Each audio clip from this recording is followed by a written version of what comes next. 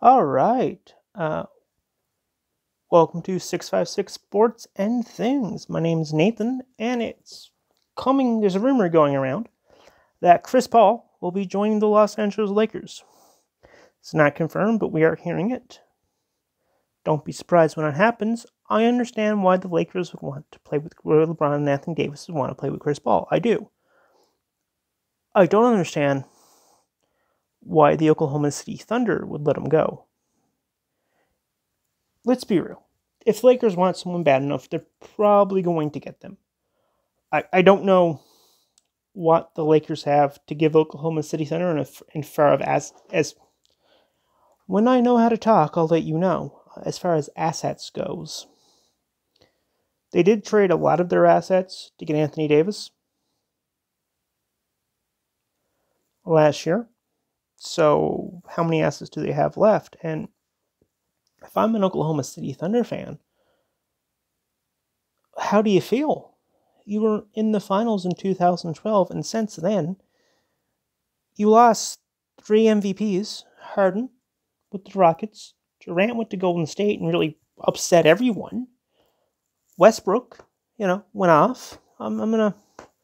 So there's three Hall of Famers right there who left your team since 2012. Outside of that, you had Paul George playing there last year. But now, you know, I, I, I know I just signed a, you know, a deal with Oklahoma City and said I'd stay here and all that fun jazz. But Kawhi's in the Clippers, and, and I and I want to play with Kawhi. Like, I'm sorry, Oklahoma City. I, I really like you and everything, but I'm gonna go play play with Kawhi. I'm gonna play with my friends in LA. Like, sure, you guys. So you bring in Chris Paul. You make the playoffs of a seven seat this year, you, and you almost upset the Rockets. The same team that your former face of the franchise was on. So, like, I understand you might want to rebuild, and I understand why the Thunder would do this to try to save money. Chris Paul does have a $41 million a year salary that you would perhaps like to get off the books, and, you know, maybe you can swing a deal with the Raptors to get the Raptors You can swing a deal with the Raptors, Raptors fan. Uh, you can swing a deal with the Lakers and maybe get Kuzma.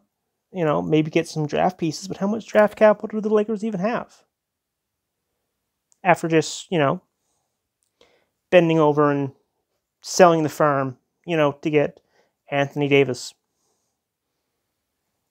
Do the the do the Lakers need Chris Paul? Probably not. They just won a championship.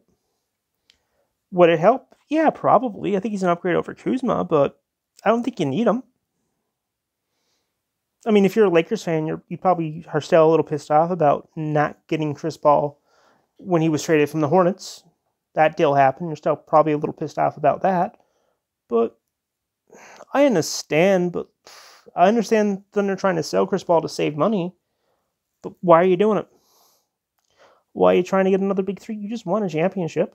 I understand. It's the Lakers and you want Showtime and all that fun jazz to come back, but from a basketball point, it just doesn't make a lot of sense. I don't think you have a lot of assets to get that deal done. Maybe I'm wrong. I just don't know why this deal's happening, why the potential there is happening. I don't know why Oklahoma City Thunder are trying to trade Chris Paul. You were just in the playoffs. Nobody had you making the playoffs. Nobody, not even diehard Thunder fans, had you making the playoffs. So since 2012, if this deal goes through, since 2012, you would have lost James Harden, former MVP, first ballot Hall of Famer, Kevin Durant, former MVP and the scoring champion, first ballot Hall of Famer, Russell Westbrook, former MVP, has a averages a triple double almost every year, first ballot Hall of Famer. You lose George, who's a multiple time All NBA player, right? Easily a Hall of Famer probably not a first ballot. He goes. You get Chris Paul for a year. You make the playoffs of a seven seat and you trade him? That's a hard sell for your fans, man. Oh, we were just in the playoffs, but now we're rebuilding. We need to rebuild and get younger. What? Just one more season, man. Make a run. If it doesn't work, then move on. That's just my take. Are you gonna trade Chris Paul? What's next? You gonna trade Steven Adams? Just doesn't make a lot of sense to me from a basketball point. I understand the Lakers wanting him.